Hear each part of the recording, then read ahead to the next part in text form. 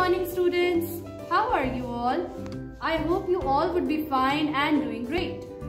My name is Auntie Sana and I am your activity teacher. Today we are going to learn folding and unfolding of mat. For this activity, we need a mat. Now I will show you how to fold a mat. Hold both the edges of the mat. Now join them with the other two corners.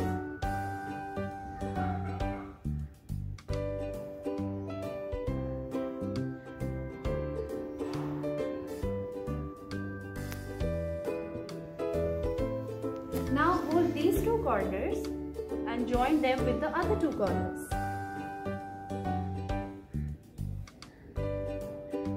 This is how we fold a mat.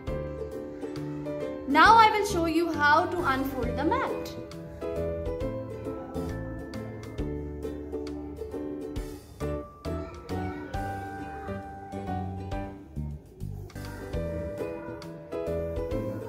This is how we unfold a mat.